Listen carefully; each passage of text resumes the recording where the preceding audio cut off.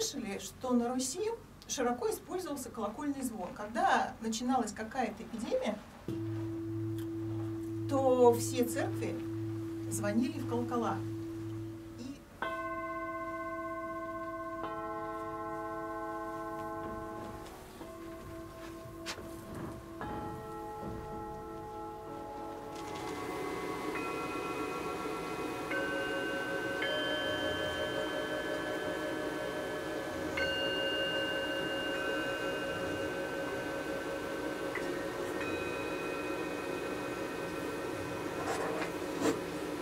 Мы с дочкой под большим впечатлением. Очень понравилось и звучание, и состояние от звуков.